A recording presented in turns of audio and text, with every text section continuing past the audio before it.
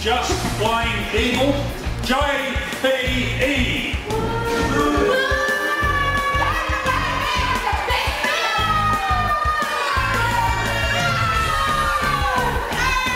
You wouldn't know talent if it smacked you in your ugly faces. Shut up. Screw you. Get muzzle. Yeah. Our second contestant, Krystal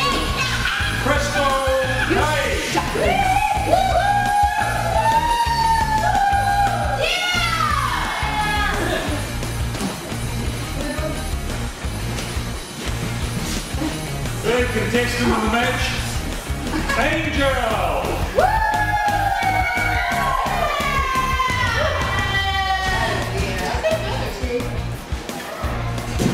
So I get given the two worst opponents that I could ever be given.